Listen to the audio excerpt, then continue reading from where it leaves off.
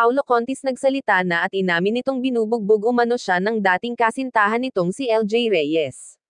Tila isang nakakagulat na revelasyon ni Paulo Contis viral na, ilang araw na pinag-uusapan sa social media ang sinapit ng kapuso aktor na si Paulo Contis sa dating kasintahan nitong si LJ Reyes.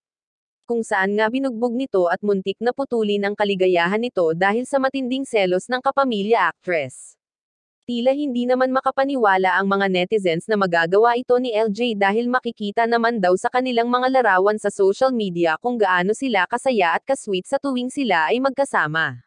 Samantala viral naman ngayon sa social media ang pagbubuking ni Paulo Contis sa totoong ugali ng actress na si LJ. Sa lumabas ng balita ay pinatotohanan ng aktor na si Paulo Contis na talagang nananakit ng pisikal si LJ. Ayon kay Paulo Contis ay talaga daw na selosa si LJ dahil ang mga babaeng fans nila noon ay pinagseselosa nito sa tuwing magpapapicture ito sa aktor.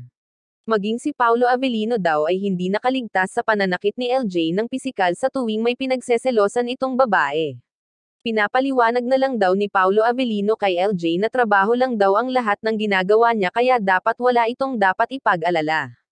Humihingi din daw ng pasensya si LJ pagkatapos siyang saktan nito ng pisikal, nalungkot umano si Paulo Avellino nang makarating sa kanya ang balitang umabot ng pananakit ni LJ kay Paulo Contis.